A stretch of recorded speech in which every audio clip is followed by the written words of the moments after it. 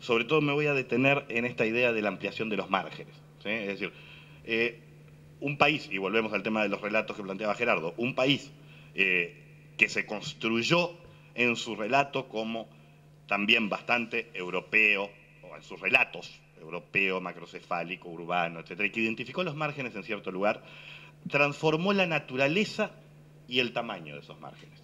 Y creo que acá hay que entender una secuencia histórica que produjo ese resultado en materia social, que parte efectivamente con el ajuste recesivo del 82, que señalaba Gerardo, al que se suma, en verdad, eh, la instalación definitiva de un desbalance generacional muy grande en donde la infancia es la que representa fundamentalmente a la pobreza y esas personas crecen después.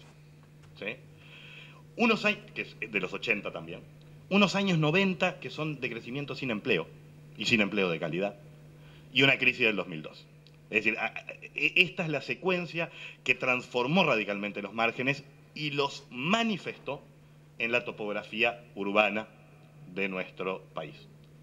Entonces, la instalación de la segregación y de la segmentación en el territorio constituye hoy uno de los desafíos fundamentales para la cohesión social que si no se aborda difícilmente se puedan superar algunas de las fracturas hoy presentes en el tejido social y las paradojas de seguridad y miedo, digamos, que están presentes.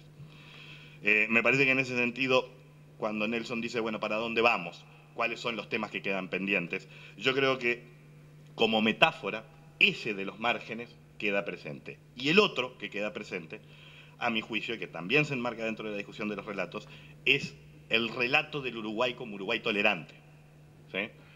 Que es un relato que obviamente tiene sus némesis y sus discusiones porque es parcialmente cierto y brutalmente incierto también.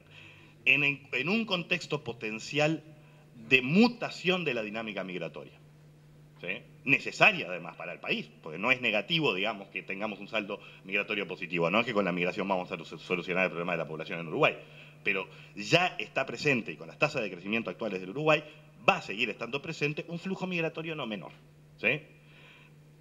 La discriminación histórica a la población afrodescendiente se, le suma ahora las discriminaciones y las fracturas de cohesión que se van a hacer presentes si no hay una política de reconocimiento de los derechos migratorios, de los derechos de los inmigrantes, etc. Hay una ley votada, no hay una junta eh, consolidada y funcionando, etc. Entonces me parece que allí, en los márgenes y en el tema de la xenofobia, la tolerancia, etc., eh, nos jugamos dos discusiones claves.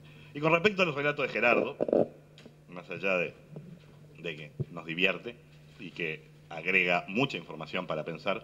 Yo creo que es correcto que el tema, la única forma de construir cohesión social es si la gente comparte relatos que dan sentido de pertenencia. Y no relatos uniformes, ni homogéneos, ni homogeneizantes. No, no, no tienen por qué serlo, pero tienen que tener algunos denominadores comunes.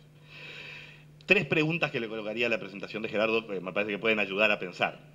Es, la primera es, quiénes hacen estos relatos, quiénes lo hicieron en el pasado y quiénes los pueden hacer en esta circunstancia eh, positiva pero exigente, de oportunidades pero exigente.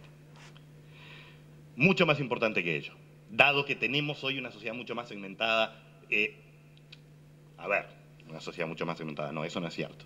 Eh, esta sociedad es menos segmentada que la del siglo, de inicio del siglo XX. Pero los actores que eran relevantes para la construcción de los relatos en el siglo XX estaban adentro los actores que son relevantes para la construcción y compartir esos relatos no están adentro, es decir, están afuera y adentro. Entonces la pregunta es quiénes escuchan esos relatos.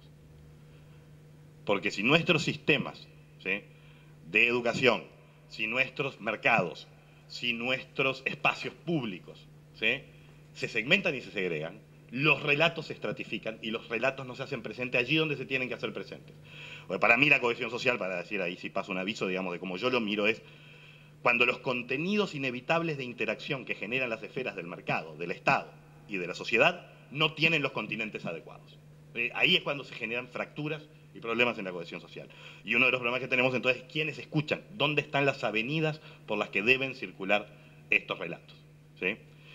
Y el tercer elemento es este juego que Gerardo ya lo planteó, ya lo dejó, digamos. Bueno, el relato lindo y su némesis, que a veces es lo mismo dicho con una palabra que denota lo malo y no lo bueno, ¿no? Patria chica, país petizo, ¿no? País de cercanías, país petizo, ¿no? País eh, de acuerdos, ¿no? País bloqueado, ¿sí? Es decir, nosotros tenemos, y miramos, siempre tenemos el relato bueno y su némesis. El relato bueno y su némesis. Y es verdad, el relato bueno fue dominante en contextos en donde ayudaba también la economía. No es que la guerra de Corea cercenó los relatos, digamos. Pero cuando uno tiene una economía que crece, etcétera, lo que Gerardo también identifica hoy como algo positivo, hay más posibilidad de supervivencia de relatos positivos y de creación de relatos positivos.